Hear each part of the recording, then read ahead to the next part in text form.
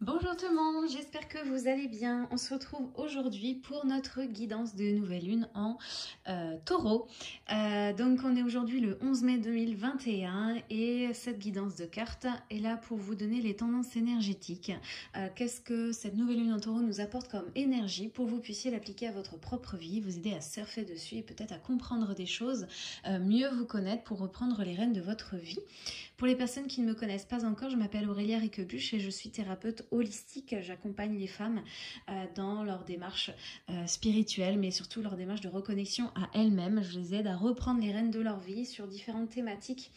Euh, je vous invite à regarder tout simplement ma chaîne, voir les différentes playlists que j'ai déjà créées sur aussi bien l'alimentation intuitive que l'image corporelle, les TCA voilà, la démarche spirituelle vraiment de, connexion à son âme.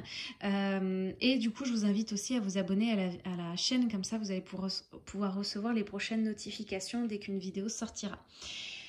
Voilà, les présentations sont faites. Je précise encore une fois qu'il s'agit d'une guidance générale. Vous prenez ce qui va résonner pour vous. Les cartes, elles sont là pour révéler les réponses qui se cachent déjà à l'intérieur de vous. Si ça ne résonne pas, c'est que ce n'est pas pour vous.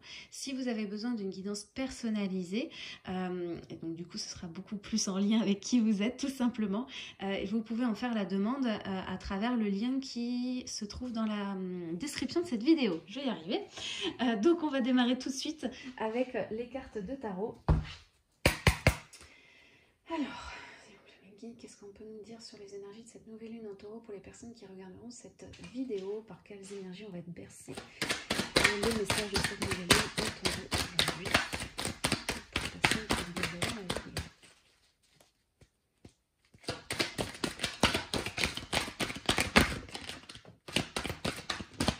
Alors, apparemment, il y a pas mal de choses à dire parce que pas mal de cartes qui veulent sauter et en même temps elles n'osent pas sauter. Alors on va garder celle-ci parce qu'elle est tombée. Ok.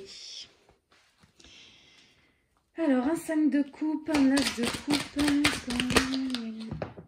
Ok, alors je vais prendre celle-ci parce qu'elle s'est retournée. Et euh, on va mettre celle-ci aussi. Alors, ok. Et en dos de deck, on a le 9 de bâton.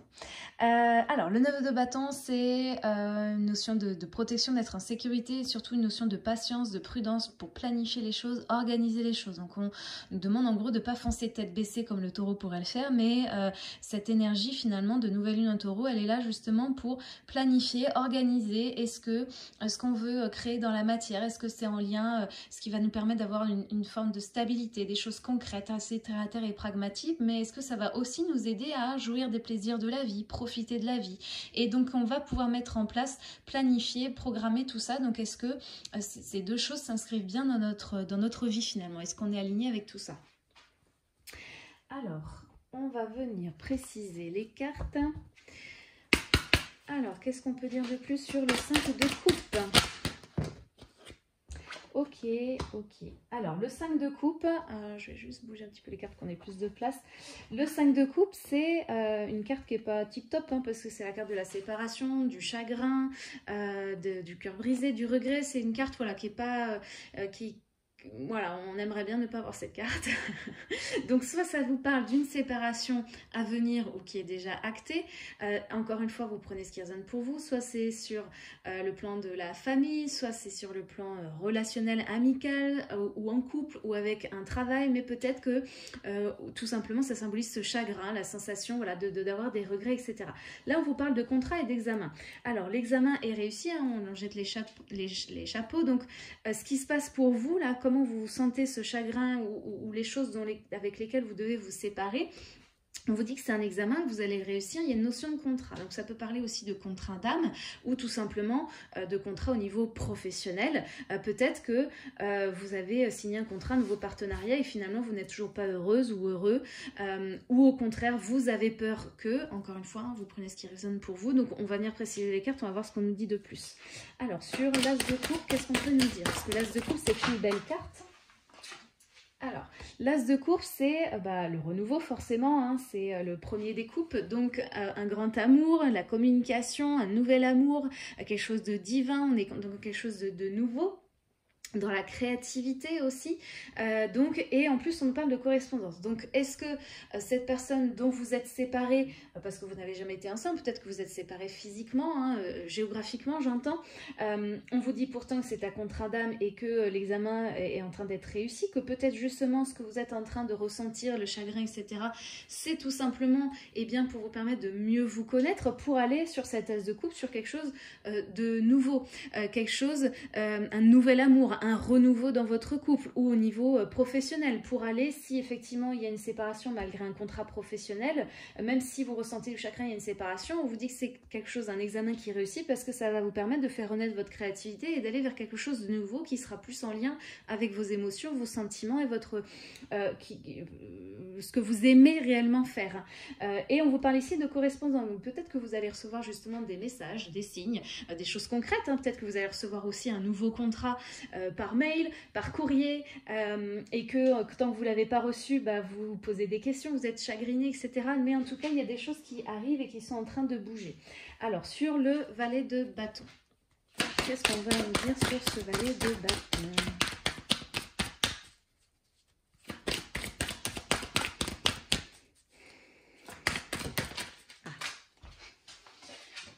Alors, le valet de bâton, on nous dit que c'est le miroir magnétique. Le miroir magnétique, normalement, c'est ce qui vous représente vous. Et euh, le valet de bâton, c'est euh, eh bien le je vais y arriver, c'est la flamme intérieure, c'est avoir du caractère, c'est être authentique, écouter son enfant intérieur. Euh, et donc là, en gros, on vous dit que le valet de bâton, c'est vous, hein, le miroir magnétique, là, il faut vous regarder dedans. C'est, on vous invite à vous regarder, encore une fois, en face, dans ce miroir, vous donner une chance peut-être à vous, vous donner une chance d'écouter votre enfant intérieur dans cette histoire de nouvel amour, de, de de, créativité. Est-ce que vous aimez réellement ce que vous faites? Est-ce que votre enfant intérieur est comblé? Euh, Donc aussi dans cette histoire de nouvelle lune en taureau, alors je ne suis pas astrologue, hein, mais les énergies de la nouvelle lune en, taureau, c'est donc euh, voir si on profite justement suffisamment des plaisirs de la vie. Donc est-ce que votre enfant intérieur, il prend du plaisir dans sa vie? Est-ce que vous l'écoutez suffisamment? Euh, est-ce que euh, vous êtes authentique avec lui, avec les autres, avec vous-même? Donc ça, c'est des questions que vous pouvez vous poser. Vous pouvez vous les poser euh, au niveau du travail, dans votre famille et aussi dans votre couple, par exemple. Et que justement, si vous ne l'êtes pas, c'est peut-être parce que justement, vous êtes dans ce 5 de couple et qu'on vous invite justement à écouter votre enfant intérieur. Qu'est-ce qu'il voulait en fait, votre enfant intérieur? Qu'est-ce qu'il imaginait? Et à la fin, on a la carte de la force que j'ai gardée parce que c'est un arcane majeur donc qui est important et que c'est intéressant de finir là-dessus. Euh, voilà, la force c'est la détermination, le courage. On vous dit que vous avez la force de réussir tout ça. Encore une fois, on est dans cet examen qui est réussi. Euh, voilà, c'est pas forcément évident hein, avec ce 5 de coupe, euh, ça c'est sûr, mais néanmoins vous avez la force et la détermination d'avancer et le courage est là. Alors, si on précise les cartes, alors il y a la carte du voyage qui est ressortie. Donc vous avez la force de faire ce grand voyage intérieur en direction de votre enfant intérieur. Je sais on parle toujours d'enfant intérieur, on a déjà fait la réflexion, mais en même temps c'est le nerf de la guerre, j'ai envie de dire. Et euh, l'objectif c'est vraiment de pouvoir euh, réunifier tous ces archétypes en nous, en tout cas pouvoir écouter toutes les parts en nous et que cet enfant intérieur, on l'a trop longtemps délaissé. Euh, peut-être que tout simplement, euh, justement, en lien avec cette séparation, peut-être que euh, pour ce travail, vous avez besoin effectivement de déménager, de voyager, on vous dit que vous allez avoir la force de le faire, le courage. soit c'est pour aller retrouver une personne avec qui vous avez un contrat d'âme, que c'est cette séparation qui vous procure ce chagrin-là, et que pourtant vous savez bien que c'est un amour divin et qu'il y a un nouvel amour, il y a un nouvel élan. Alors peut-être que vous allez recevoir eh bien une, réponse de sa part, ou vous, lui, vous, ou vous pardon, vous allez lui envoyer un message lui dire que vous venez à sa rencontre, hein. vous le voyez, vous l'observez, vous savez qu'il est là et vous allez le voir. Donc toujours pareil, vous prenez ce qui va résonner pour vous, mais peut-être celle, la colonne qui me parle le plus, en tout cas c'est vraiment ce valet de bâton et ce miroir magnétique, c'est vous, c'est est-ce que vous écoutez réellement votre enfant intérieur ici? Alors, en dos de deck, on a la carte du temps. Donc, ça peut peut-être encore prendre du temps. Ou alors, euh, ça fait longtemps, justement, qu'il y a cette situation et que là, justement, il est temps de sortir. Mais euh, voilà, dans tous les cas, euh, c'est sûr que ce ne sont pas des choses qui sont en un claquement de doigts. Alors pourtant, c'est vrai que ces derniers temps, on avait des énergies avec plutôt des mouvements rapides, euh, avec le chariot et des, choses qui, avançaient. Et là, pourtant, voilà, on a la carte du temps, on a le 9 de bâton, c'est la patience, la prudence, la planification. Donc, Ça, ça va pas se faire en un claquement de doigts. Justement, on vous demande peut-être de prendre le temps de réfléchir à tout ça, de bien se connecter à votre enfant intérieur et de voir où est-ce que vous en êtes en fait. Est-ce que vous l'écoutez suffisamment, cet enfant intérieur, ce qu'il aime faire et ce qu'il n'aime pas faire euh, dans tous les domaines de votre vie. Et planifier, organiser, mais soyez prudent et vous allez avancer, prendre votre temps, mais ce temps est nécessaire. En tout cas, cette nouvelle lune en taureau nous invite à nous poser et à bien faire le bilan, en fait, l'état des lieux de, euh, bah voilà, qu'est-ce que je fais concrètement? Est-ce que ça me permet de, prendre du plaisir dans ce que je fais? Est-ce que je suis bien? Est-ce que je, fais vraiment des choses que j'aime, en fait? Euh, Alors, on va continuer de préciser, voir si on peut ajouter des choses. Alors, sur 5 de coups, contrat et examen.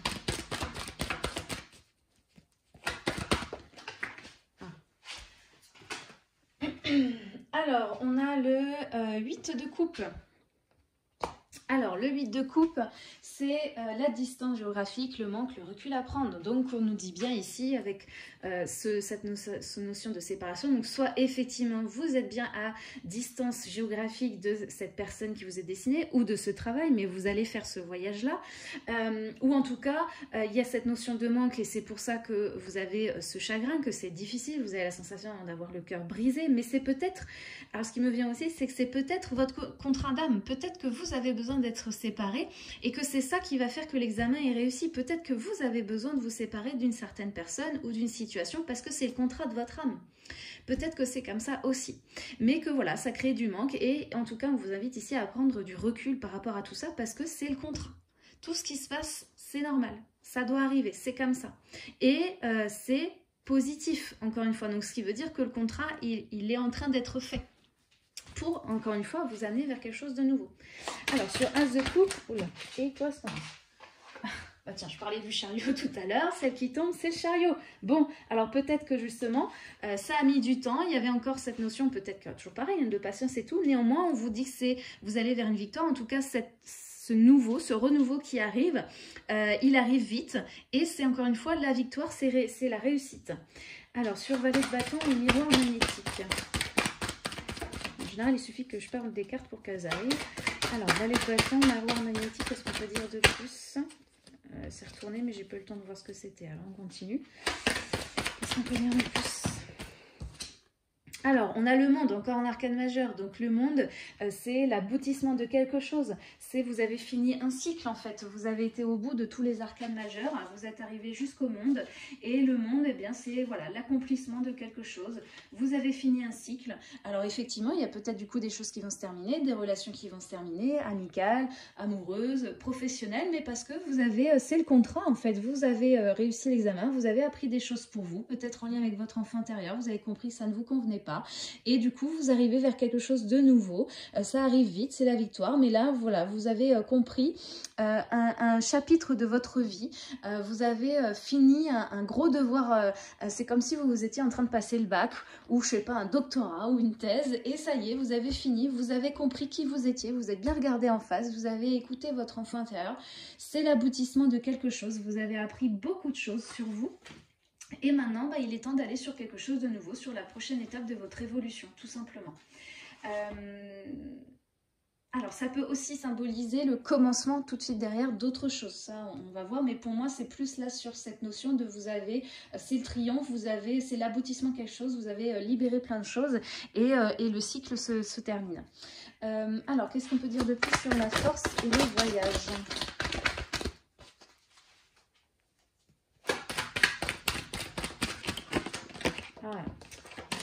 Bon, celle-ci, elle a fini par tomber. Alors, une reine de denier. La reine de denier, c'est une femme, une polarité euh, euh, féminine qui est ancrée, qui est euh, dans la matière, qui va créer des choses, qui est aussi dans la stabilité professionnelle. Elle est dans l'ancrage, la complétude. Elle a travaillé sur elle. Elle peut aussi travailler, elle peut être indépendante, hein, cette reine elle est euh, concentrée en tout cas sur elle, elle est dans une stabilité, elle peut aussi symboliser la mère, hein, le foyer, la maternité.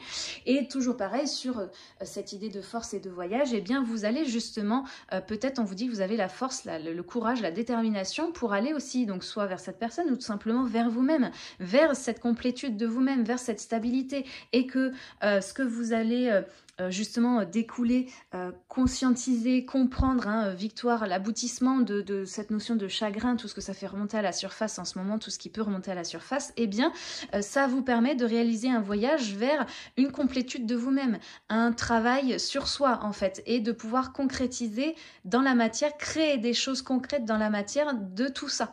toujours dans cette histoire de bah, qu'est-ce que je fais de, de mon intériorité, de ce que j'aime faire, comment est-ce que je peux le mettre au monde? Aussi, dans tous les sens du terme. Et en dos de deck, histoire de compléter le tableau, encore un arcane majeur, le jugement. Donc le jugement, eh bien c'est le jugement divin. Donc encore une fois, s'il y a des choses qui se passent, eh bien ce n'est pas que c'est pas de votre fait, c'est le contrat, c'est le contrat d'âme. Et ce qui doit se passer euh, se passera parce que c'est comme ça.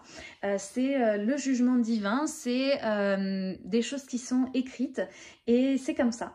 on ne peut pas passer au-delà et au bout d'un moment, là, la, justice divine peut aussi s'en mêler. En tout cas, il y a des choses qui vont arriver parce que c'est comme ça. Voilà, tout simplement. Alors, euh, on va venir voir aussi au niveau énergétique si euh, on veut dire quelque chose de plus. Ok, alors j'ai déjà trois quarts, donc on va s'arrêter là. alors, hop. Alors du coup, j'ai ces trois cartes-là. Donc euh, pour cette nouvelle lune en taureau, on nous parle de chakra de la gorge, de communication, d'expression. Donc justement, est-ce que vous communiquez suffisamment sur vos besoins, sur votre enfant intérieur? Est-ce que, euh, est que vous exprimez réellement qui vous êtes? Est-ce que euh, vous communiquez avec les autres? Est-ce que vous communiquez sur votre colère? Est-ce qu'il y a encore peut-être de la colère en lien avec ce chagrin, cette tristesse? Il y a peut-être aussi de la colère qui se cache derrière. Et, ou alors la colère de vous-même de ne pas avoir justement suffisamment exprimé qui vous êtes en tout cas, il y a peut-être un travail sur chakra de la gorge qui est en train d'être fait euh, pour que vous puissiez euh, exprimer qui vous êtes réellement.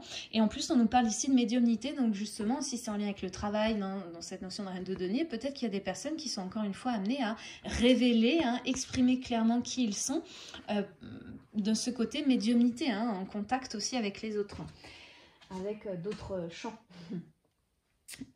alors, je me rends compte que là, vous ne voyez pas les petites cartes alors qu'ici, vous allez les voir. Donc, on va les mettre ici. En dos de deck, j'ai la carte de la malveillance.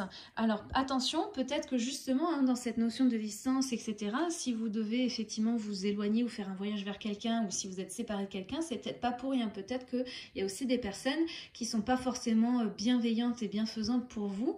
Il y a peut-être des énergies toxiques autour de vous, donc protégez-vous aussi. Et c'est en lien avec le fait aussi de respecter qui on est et d'exprimer suffisamment qui on est pour ne pas se laisser atteindre par la malveillance. Alors, est-ce qu'il y a un message pour les personnes qui regardent cette vidéo? En lien avec ce tirage, un message de l'âme alors, alors, on va pas retourner tout le paquet, merci. Donc, il y en a déjà deux qui se sont retournés. On va s'arrêter là parce que trop de messages tuent les messages. Alors, il y en a une qui est tombée. C'est s'écouter. Au fond de vous, au fond de votre être, de votre âme, vous savez. Vous savez ce qui est juste pour vous. Hein. C'est ce qu'on disait. Vous savez ce qui est bon pour vous. Vous savez quel chemin emprunter. Écoutez-vous simplement. Laissez-vous guider par votre intuition. Et celle qui s'est retournée dans le paquet, c'est la communication. Euh, donc voilà, la tempête fait rage dans votre cœur. On parlait de colère et de chakra de la gorge. Donc là, le conseil, justement, par rapport à tout ça, c'est peut-être de communiquer et de laisser vos pensées s'envoler, laisser la colère s'envoler. Vous pouvez écrire, poser des mots sur vos émotions, sur ce que vous traversez, sur ce que vous vivez, mais on vous invite à communiquer. C'est pas forcément par parler à quelqu'un, ça peut être tout simplement communiquer à vous-même hein, aussi. Euh, être juste par rapport à vous-même dans la notion. Là, on parle quand même de parler et de s'écouter. Hein. donc, il y a quand même parler et écouter. Donc là, c'est peut-être tout simplement juste par rapport à vous-même. Est-ce que vous vous écoutez suffisamment? Est-ce que vous vous parlez suffisamment? Alors, je vais les mettre? Toc. En dos de deck, on a quoi? On a se laisser bercer. Peut-être que là, il y a juste à faire de s'écouter, de se parler à soi-même et de se laisser bercer par ce qui va arriver. Parce qu'encore une fois, il y a cette notion de jugement et, de contrat et que du coup, les choses qui doivent arriver euh, arriveront. Euh, alors, euh, bah non, en fait, je vais m'arrêter là parce que j'ai peur que si je vous tire d'autres cartes sur l'oracle de la lune, et eh bien ça perturbe tous les messages, qu'il y ait trop de messages et qu'on ne sache plus où donner de la tête. Pour moi, là, le message, c'est clair, c'est écoutez votre enfant intérieur. Est-ce que vous écoutez réellement votre enfant intérieur qui vous dit ce qu'il aime et ce qu'il n'aime pas? Est-ce que vous communiquez justement suffisamment sur vos besoins aux autres, mais surtout par rapport à vous-même? Et que tout ce qui se passe en ce moment, même s'il y a beaucoup de chagrin, même si c'est difficile, on vous dit que c'est le contrat, ça doit se passer comme ça que vous allez vers un examen réussi. Hein. Il y a le chariot, la réussite, le monde. Donc c'est vous vous avez déjà presque réussi en fait. Euh, vous deviez traverser tout ça pour encore mieux vous connaître, encore mieux écouter votre enfant intérieur, euh, écouter qui vous êtes réellement au fond de vous, lâcher la colère. Euh, on vous parle de force et on vous dit surtout que ça va vous permettre d'ancrer quelque chose dans la matière concrètement, de créer quelque chose de nouveau. Hein, en lien aussi avec cette tasse de coupe, il y a soit une nouvelle rencontre, soit un nouveau travail, soit un renouveau, mais il y a quelque chose de nouveau qui s'installe et qui sera plus en lien avec votre enfant intérieur si vous l'écoutez suffisamment et si vous lui parlez suffisamment. Voilà pour résumer donc sur cette nouvelle lune en taureau. J'espère que ce tirage vous aura plu, vous aura parlé. Euh, vous pouvez me faire vos retours dans les commentaires, liker la vidéo, ça permet tout simplement bah, de voir que vous avez apprécié mon contenu et de soutenir mon travail, donc merci d'avance pour ça. Je vous dis à très bientôt pour une prochaine vidéo pour les énergies de la semaine prochaine. Très belle nouvelle lune à vous